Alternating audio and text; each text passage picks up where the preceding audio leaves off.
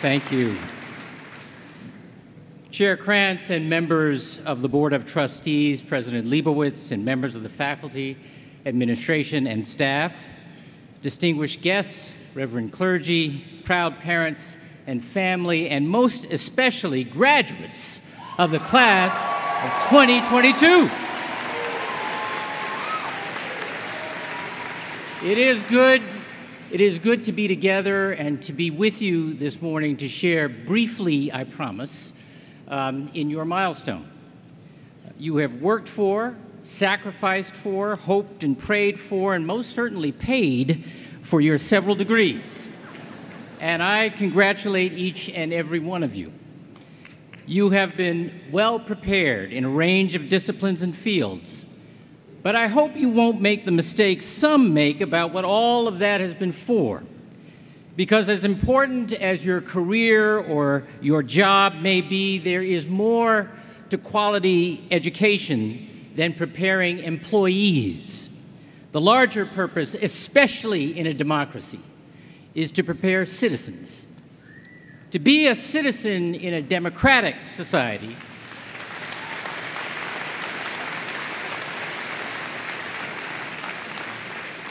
To be a citizen in a democratic society is to accept certain responsibilities in exchange for the rights and privileges of democracy itself. These include the responsibility to be informed and discerning, to engage, and to be a good steward. A generation that acquires knowledge without ever understanding how that knowledge can benefit the community is a generation that is not learning what it means to be citizens in a democracy. When I was a kid on the south side of Chicago, every child was under the jurisdiction of every single adult on the block. If you messed up down the street in front of Miss Jones, she'd go upside your head as if you were hers. And then she'd call home, so you got it two times. I think what those adults were trying to get across to us was that membership in a community is about seeing the stake that you have in your neighbor's dreams and struggles as well as your own from the ways families shared food or old clothes to the looks the old church ladies cut us if we fidgeted when it was time to get down to the business of worship.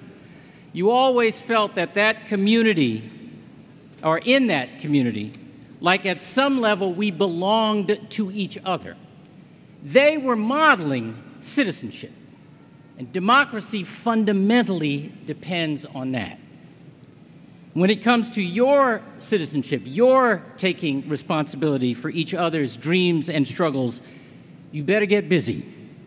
Because democracy, here in the States at least, is in trouble. We face two big challenges to our democracy today, as I see it. See it. The first is to make it function, how to make it straightforward and transparent to register, stay registered, vote, and have that vote counted. This first challenge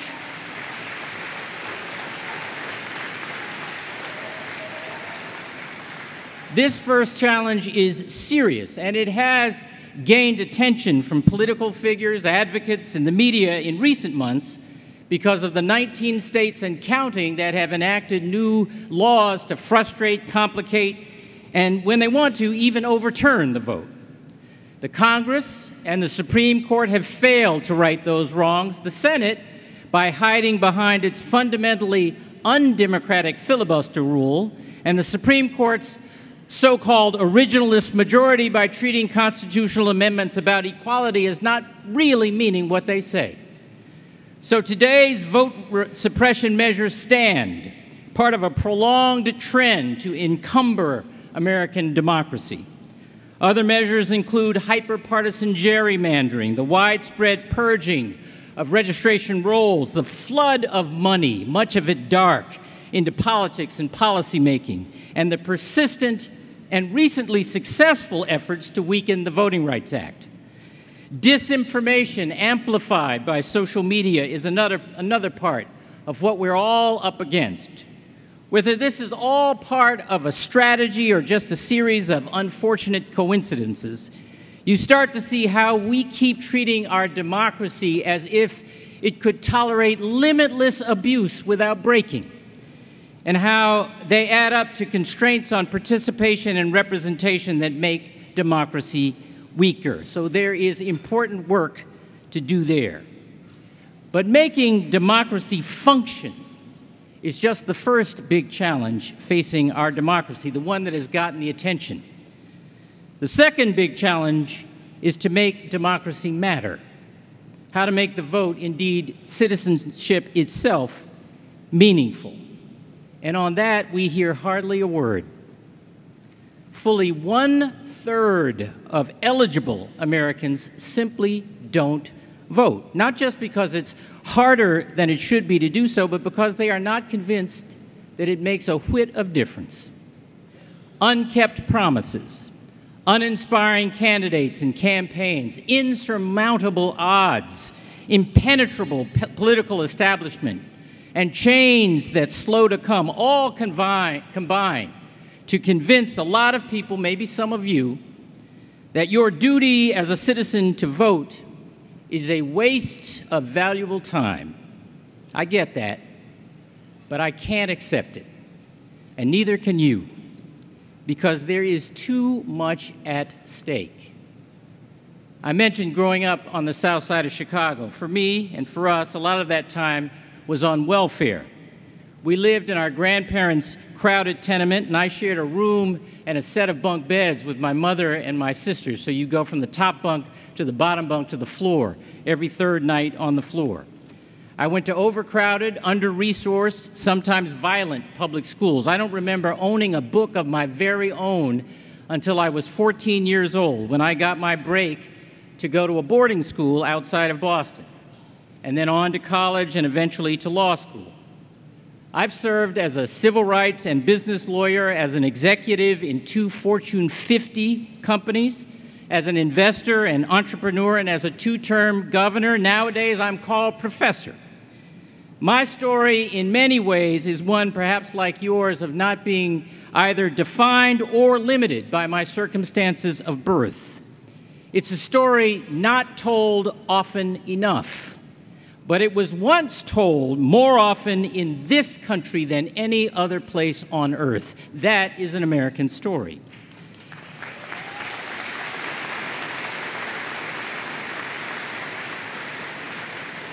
But that story is lived less and less often today. Income and wealth inequality, economic immobility, wage stagnation, call it whatever you want, the American dream is further and further out of reach for more and more Americans. It is not because of lack of will. Grit, determination, personal responsibility, family, hard work, mental discipline, ambition, and grace all played a role in my own story as they do in everybody else's American dream. Those qualities are in no less supply today than they were in the 50s and 60s when I was coming up. My grandmother used to tell me, hope for the best and work for it. There is still hope. Individuals still do or try to do their part. But as a society, as citizens, we have stopped doing the work. Like I said, I had grit and determination, but I also had great teachers in my public schools, teachers who were well prepared and who raised our expectations of ourselves. I took personal responsibility and had family support and encouragement, but we also had housing we could afford and food assistance when we were hungry. I worked hard and with discipline, but I also had scholarships and college loans I could afford to repay.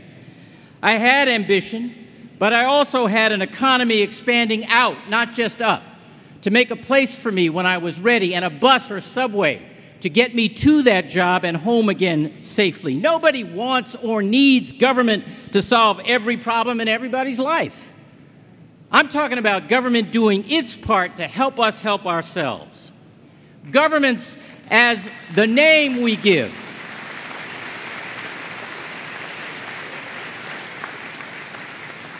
Government as the name we give, as former Congressman Barney Frank used to say, to the things we choose to do together. I'm talking about investing in public education, in housing, transportation, health care, and all of the kinds of initiatives that enable private in investment and personal ambition. For most of the last 40 plus years, we've substituted that working formula for trickle down economics, including its central myth that tax cuts create jobs, and the narrative of radical individualism. Despite common sense and decades of evidence to the contrary, these and similar fictions have become accepted political wisdom. And the consequence is that the American dream itself is in jeopardy. None of this, by the way, is the unique challenge facing black and brown people, if it ever was. I always knew there were other kids on the South Side just as creative and ambitious as I was who never got that chance. Now I see those kids everywhere. I always knew when the steel mills closed on the South Side that folk felt abandoned and even betrayed by a nameless, faceless, short sighted economy. Now I sense that feeling everywhere. I've always known what it was like to have opioids fill the vacuum because they moved into our own home. Now they've moved in everywhere. Cheery economic indicators have never told the whole story. Today, gas and grocery prices keep going up, but when inflation was reportedly low, it seemed like nobody was counting the cost of rent or health care or college tuition. Unemployment is low today so long as you count both or all three of the low wage jobs an awful lot of people work just to survive, and to which many a post pandemic worker just won't return. Today, white, rural, and working class folks experience the same economic insecurity and so social isolation, the same suicide or addiction rates as black people have experienced for generations. See, the poor have been stuck in poverty for a long time. Now, the middle class are one or two paychecks away from being poor and desperately anxious about it. And all of this was true before the pandemic made these realities so much harder to overlook. And when our leaders relentlessly focus on the next election or news cycle or the next poll instead of the next generation, when substance, integrity, duty, and honor seem always secondary to political performance art, small wonder that so many have lost confidence in democracy as a path to change. Now, here's where you come in. Citizenship is an act, a thing you do, not just a thing you are. Its privileges and responsibilities are interdependent, each one making the other possible and meaningful. So act like it. Make your citizenship personal. Don't let your stake in your neighbor's dreams and struggles be a purely abstract idea. Bring it to life in the way you behave and the things you do. Despite what a lot of so called leaders seem to want today, challenge yourself to turn to each other rather than on each other. No one person and no one party has a corner on all the best ideas. So learn to listen, in the words of Robert Frost, without losing your temper or your self confidence. Examine more closely the choices some of our would be leaders would have us make and ignore the false ones. No, it turns out you don't have to hate business or the wealthy to work for social and economic justice or to crash the economy to have a livable planet.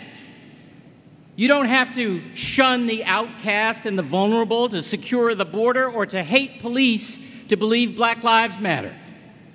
Of course, we need laws and rules and norms that make it easier to register, to vote, and to have that vote count. That's the least we must do to show our respect for participatory and truly representative democracy.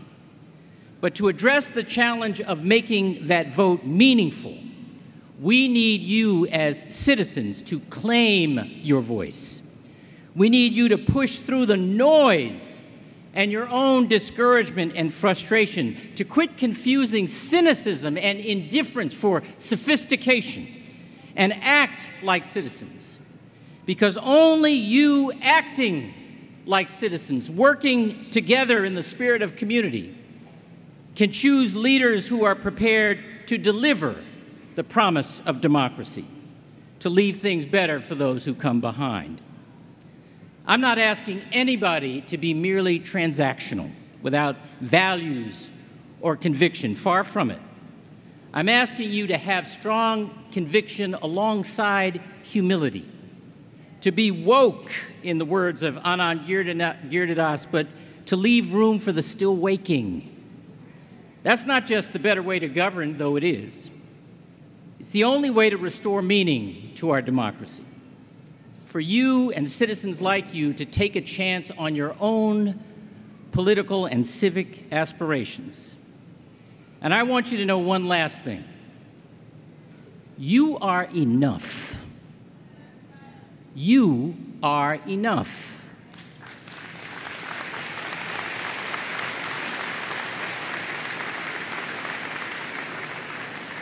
that infamous draft opinion leaked from the Supreme Court a few weeks ago said that those who objected to a decision to abandon reproductive freedom could take it up with their state legislatures and vote for a change. Of course, it was deeply cynical to hear from the same justices who had gutted the Voting Rights Act a few years ago and recently authorized states otherwise to suppress the vote. Cynical indeed, even sinister, but still perhaps inescapably true.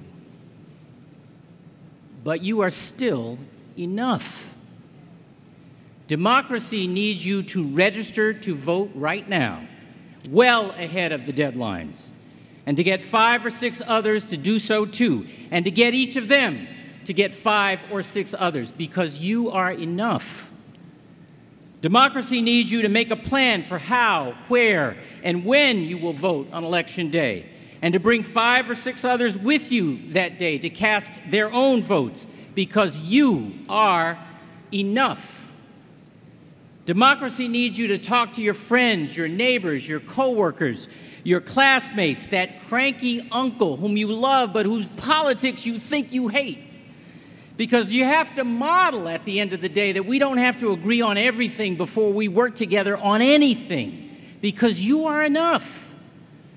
Democracy needs you to vote for a candidate in every race on that ballot, from the offices that the media pay attention to to the ones that seem to you obscure, because you are enough. I am not telling you for whom to vote, just to choose and to lead others to choose candidates who serve you, for you, not for the cameras and the Twitter and metaverse, who spend their political capital to help you get your next job, not to help them keep or get theirs. Choose the candidates who bring conviction and humility who treat the conditions we all face and the aspirations we all have for our own American dream as the challenge, not their competitor as the enemy. Because to save democracy itself, America needs you to put your cynicism and your frustration down and to overwhelm the inconveniences and outright barriers thrown up to frustrate you and make you cynical. What's at stake, I believe, is the last hope for your own and your neighbor's American struggle and story. The moment is now, and you are enough. Hope for the best, class of 22, and good luck. God bless you.